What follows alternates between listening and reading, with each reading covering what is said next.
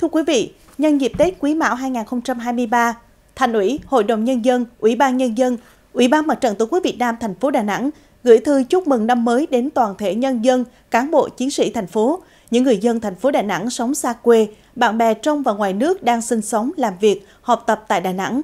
Trong thư nhấn mạnh, năm nhâm dần 2022 vừa đi qua, đây là năm thành phố chúng ta tập trung phục hồi kinh tế sau ảnh hưởng nặng nề của đại dịch Covid-19.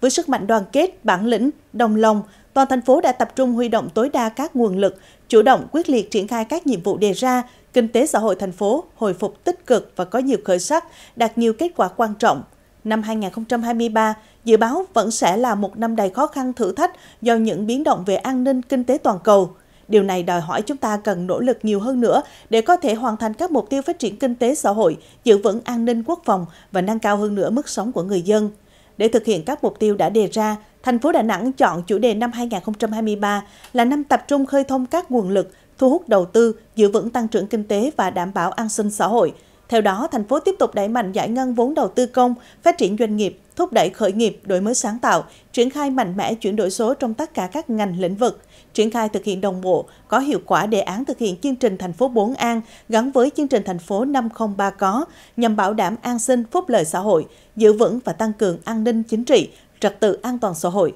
phấn đấu xây dựng thành phố Đà Nẵng an bình là điểm đến an toàn tin cậy đối với du khách, bạn bè quốc tế, Chào đón năm mới, Thành ủy, Hội đồng Nhân dân, Ủy ban Nhân dân, Ủy ban Mặt trận Tổ quốc Việt Nam thành phố kêu gọi nhân dân, cán bộ chiến sĩ, cộng đồng doanh nghiệp trên địa bàn thành phố phát huy tinh thần đoàn kết, chung sức chung lòng, nỗ lực cùng nhau vượt qua khó khăn thử thách, quyết tâm hoàn thành cao nhất các mục tiêu chương trình kế hoạch đã đặt ra, tạo động lực cho thành phố phát triển nhanh hơn, mạnh hơn và bền vững trong năm 2023.